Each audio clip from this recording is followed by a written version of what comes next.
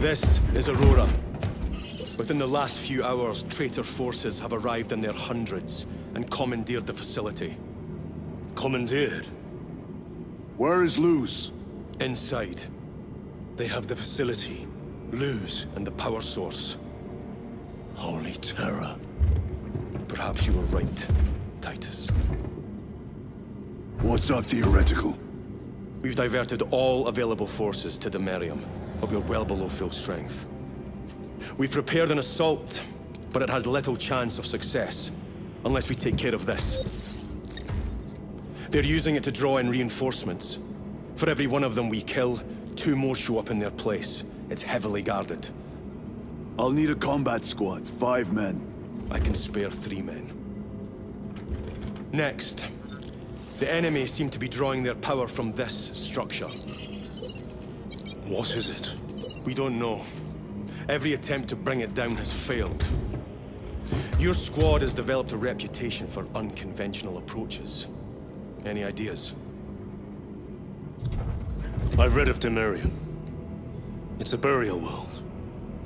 4,000 years ago, there was a clash between the Ultramarines and the Heretics.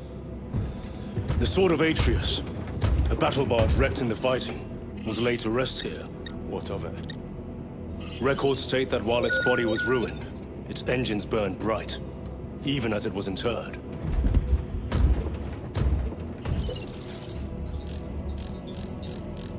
It may not fly, but it might ram. A long shot to say the least. Worth a try. Very well then. Navigation systems are probably dead. We can't afford to miss. He's right. Someone will need to get close to the target and place a beacon. Our offensive launches in 90 minutes. The Emperor guide you, brothers. And you, sir.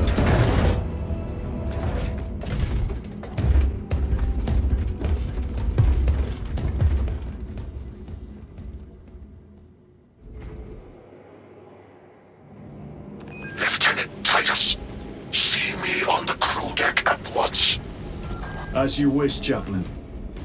Ensure brothers Chairon and Gadriel are in attendance.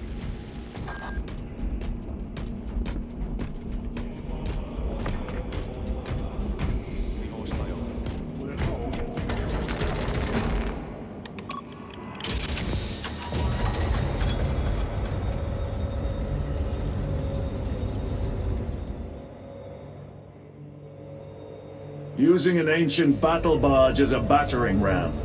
An unorthodox approach. You disapprove? On the contrary, it is inspired thinking.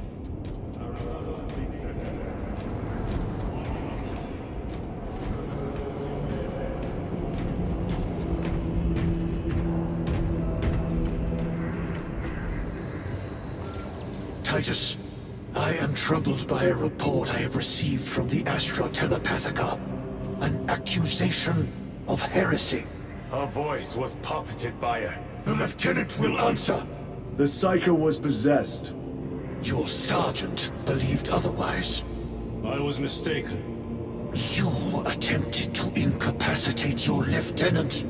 Thank the Emperor I failed. And now, the only individual capable of reaching Lord Kelgar is dead. By your hands. I will be watching all of you.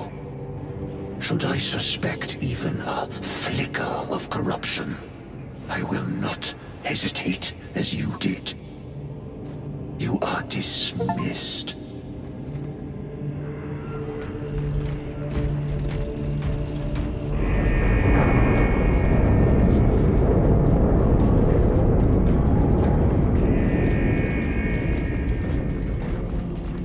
Time to go.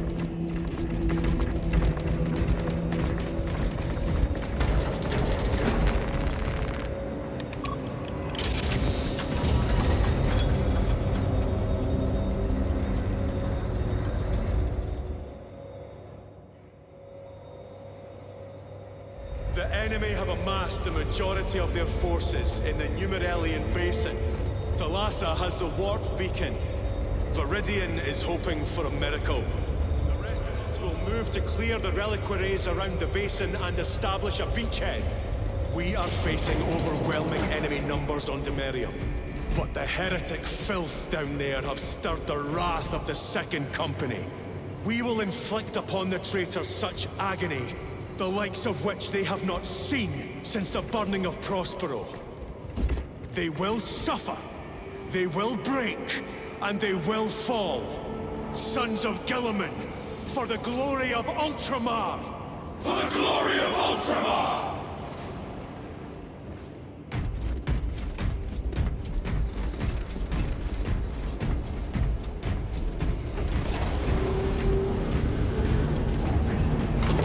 Lieutenant Titus.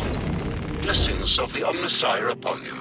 Galio, theoretically, could Tacticus armor withstand a suborbital drop? Gravis is too cumbersome for our needs. Negative. Extreme risk. Dense debris fields litter the entry flight path. But if we avoid the debris, could we survive the descent? Calculating. Survival probability to 62.4136. Unacceptably low. Thank you, Galio.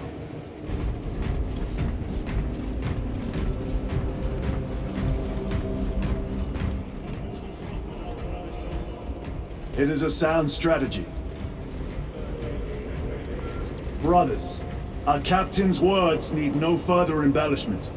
I will speak only of practical concerns. The heretics will employ absolute deception. You will be assaulted by lies and illusion. The only true ground you will find down there will be each other. Trust only your brothers and your instincts. Now go forth and lay waste to our enemies. For the Emperor! For the Emperor!